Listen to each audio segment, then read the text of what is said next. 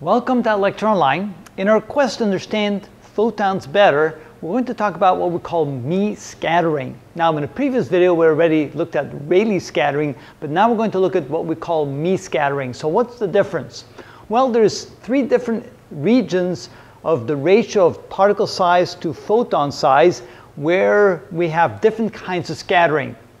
So the first type of scattering is what we call Rayleigh scattering, and I don't, yeah, I have it right here. So Rayleigh scattering, and that occurs when the particle is less than one-tenth the size of the photon, or at least the wavelength of the photon, because size of photon is still something we need to tackle. It is a difficult concept, and it's really not the we really don't think about the size of photon in the traditional way where we can actually put a limit to how big a photon is. But we're getting there. We're trying to understand what a photon is. And so we're going to look at it in terms of how photons are scattered in the atmosphere when they encounter particles in the atmosphere. So when the particles are really small, less than a tenth of the wavelength of a photon, namely the air molecules in the atmosphere, then we experience what we call Rayleigh scattering.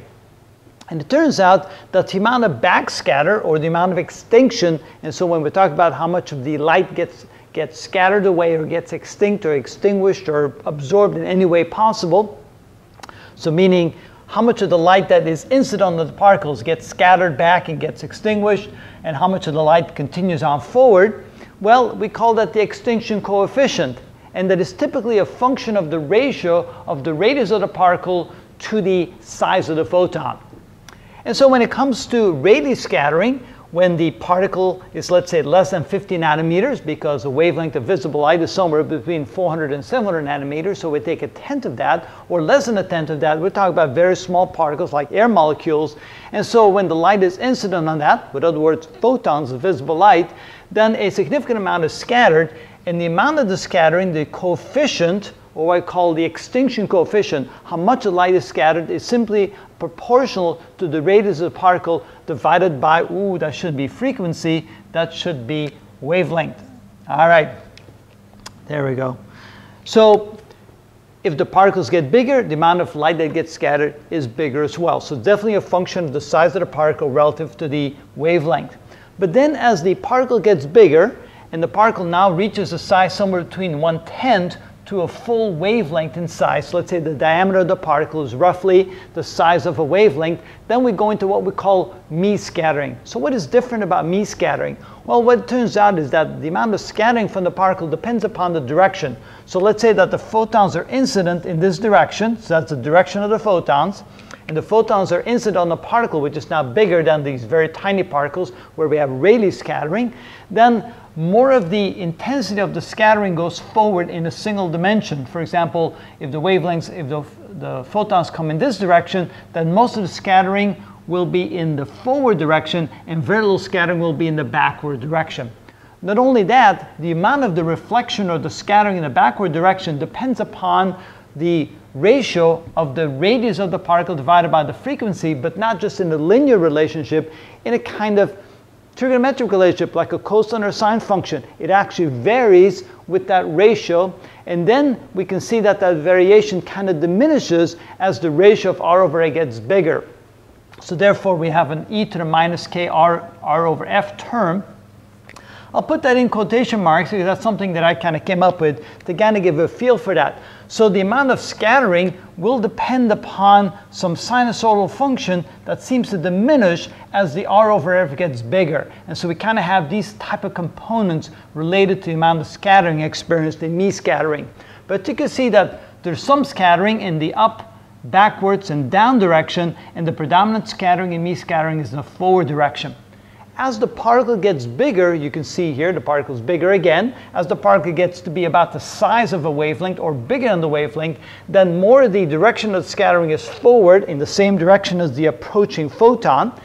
And you can see that very little of the scattering goes backwards. At some point, the coefficient of the extinction coefficient becomes a constant. So it's regardless of the size of the particle relative to the wavelength, the scattering then becomes uniform in the direction proportional to the intensity of the light. And so therefore we then have what we call more of what we call optical scattering rather than Mie scattering. So the Mie scattering then becomes, becomes the type of what we call optical scattering. The light simply scatters off a large particle. So Mie scattering is kind of the scattering that we find in the in-between stage between Rayleigh scattering and optical scattering. We have what we call Mie scattering, and the scattering is kind of very interesting way which is done. So you can see then that the amount of light that gets scattered forward and backwards depend upon the ratio of the size of the particle to the frequency, and, and you can see that this is roughly from uh, one-tenth uh, the ratio of r over f. Oh, I keep saying f, but I want to say lambda. So we go from about one-tenth the ratio of the radius of the particle to the wavelength of the particle to about one times the ratio of the radius to the wavelength. So in this region, when the particle is roughly one-tenth the size of the wavelength to about the same size of the wavelength, in that region the scattering will vary kind of like sinusoidally. And the difference here, in the beginning especially, is basically a 10 to 1 ratio. So it's a, a quite a dramatic change in the scattering as that ratio changes from 1 tenth of r over lambda to 1 times r over lambda. And then, of course, it also diminishes like this. And so that's why I kind of threw this in there. So we have a, a, a declining exponential function. So as r over f gets bigger, then the variation in the scattering gets smaller. So that's kind of an interesting relationship. So that's what we mean by Mie scattering. Notice it's in all directions, but the forward direction, in the same direction as the approaching photons, is where the predominant light will continue to scatter and a little bit will then get backscatter. Of course, the amount of backscatter does depend upon that ratio. Now, where do we see that in nature? Well, when you look at the sun, especially in the sun when it's kind of a hazy day, where there's a lot of moisture in the air, a lot of small dust particles in the air. Then you look in the sun direction and you can see around it kind of a halo of white light. That halo of white light is really a result of the Mie scattering that then hits those particles of that particular size. If the air is very clean, then you don't see that Mie scattering. Then of course we just see typically just the Rayleigh scattering if the air is pretty well free of the moisture, the, kind of like the fog particles or kind of like um, dust particles in the air. Another thing is, for example, when you turn on the, uh, the beam of your car, the headlights of your car in a foggy condition, then again you see what we call the Mie scattering where we have this back scattering and that's why you don't recommend to put on your high beams in foggy days because you get much of that light reflected back in your eyes and they can't see anything. So hopefully that gives you a good idea of what Mie scattering is and again it relates the properties of photons to what happens in the atmosphere when it encounters different sized particles and the different kind of scattering that the light then experiences.